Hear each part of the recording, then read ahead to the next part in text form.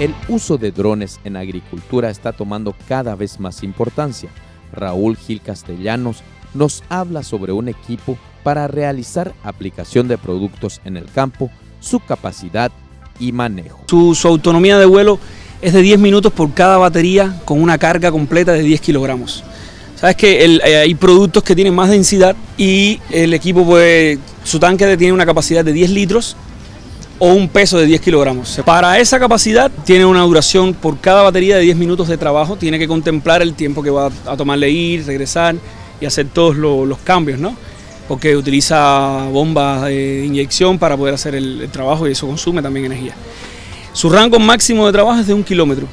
Y ese rango está determinado porque una persona no, debe estar tan alejado de un equipo eh, no tripulado. Eh, las reglamentaciones internacionales indican que uno tiene que tener los equipos no tripulados a la vista. Por eso entonces, más allá de un kilómetro puede no estarlo observando y quizás ah, si sucede alguna situación con el equipo, no... Y en, eh, la, en la parte técnica, porque es muy lejos a la hora de que el dron vaya y regrese a hacer los cambios de batería, hacer los cambios de líquido, entonces mucha pérdida de tiempo. Él vuela a la altura del cultivo, puede ser 7 metros, puede ser 10 metros, y altura mínima 1,50, debido a unos radares que tiene de microondas que mantienen el dron siempre a la misma altura con relación al suelo.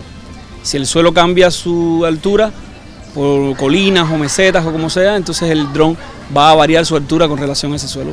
Y además cuenta con un sensor de anticolisión que evita el accidente del dron contra cualquier objeto que se haya introducido, digamos, alguna persona o algún animal que haya entrado caminando al área de trabajo. Él tiene un rango de 50 metros donde él detecta ese objeto. A los 20 metros, si el objeto no se movió, se detiene. Y si pasado un tiempo el objeto se mantuvo inmóvil, entonces el dron bordea ese objeto y continúa su trabajo. Este equipo tiene incorporado los radares RTK, sistemas de alta precisión y acompañado del módulo terrestre RTK. Ya no solo se manejaría con GPS, se manejaría con este módulo que le estaría enviando en tiempo real información de posición a los equipos. El margen de error de los equipos disminuiría de un metro, que es el margen de error de satélite GPS, a pocos centímetros y permitiría acoplar varias unidades y poder trabajar con varias unidades en simultáneo.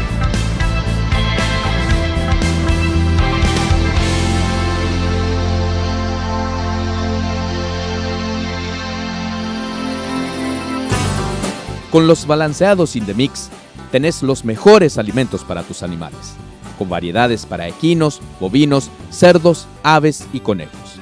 Dale lo más saludable a tus animales. Dale Indemix. Encontranos en las mejores veterinarias y puntos de venta de Indega SA. Las bolsas plásticas o también denominadas costales son muy utilizadas actualmente en horticultura y buscan evitar el contacto directo del cultivo con la tierra, ya que existen situaciones en las que por problemas de suelo como ataque de hongos, bacterias o nemátodos es difícil aumentar la productividad de la parcela, sea dentro o fuera del invernadero. Plastiagro, una empresa pionera en plasticultura en Paraguay. Buscamos la mejor relación beneficio-costo para el horticultor, ofreciéndole una línea de productos de reconocida calidad con la ética comercial que nos caracteriza. Las marcas que permiten a Plastiagro ofrecer soluciones al productor Ketquila, Pandia, Marienberg, Nortene, Sustream, Coda, Cristal. Contamos con asistencia técnica pre y postventa. Contactos al 0981 349 190 92. Plastiagro. Plastiagro.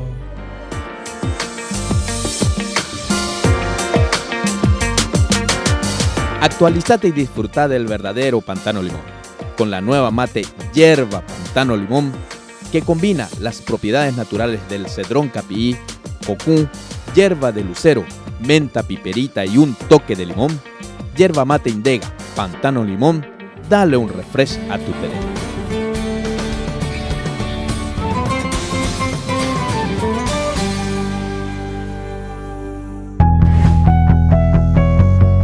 De esta forma, llegamos al final de una nueva edición de ABC Rural. Y como siempre decimos, convencidos de que el agronegocio mueve al Paraguay, agradecemos a las empresas que nos han acompañado. Nos despedimos hasta una próxima oportunidad.